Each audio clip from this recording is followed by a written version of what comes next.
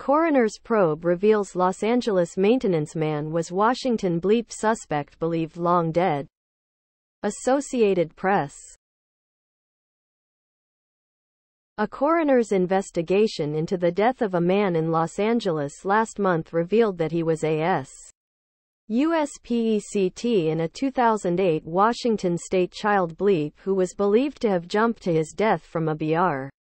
Ij on Puget Sound years ago, authorities said. Christian Robert Basham was living under the alias Mark Clemens when he died Feb.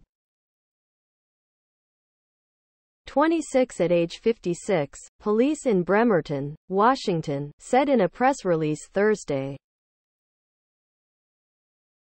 The Los Angeles County Medical Examiner's Office discovered his true identity and infor. Below are your comments. First clue of an alias, writer Samuel Clemens aka Mark Twain, suspect becomes Mark Clemens. Woman shrugging. That is a big downside to renting. Likely there are several strangers with access to your apartment keys. In a way, it would have been better had they not figured it out at this point.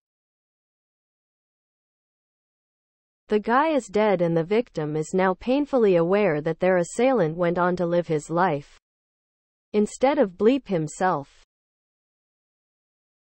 Sounds like the witness should be interrogated. They need to question the witness again. Please subscribe to my channel. And if you like it, please thumbs up.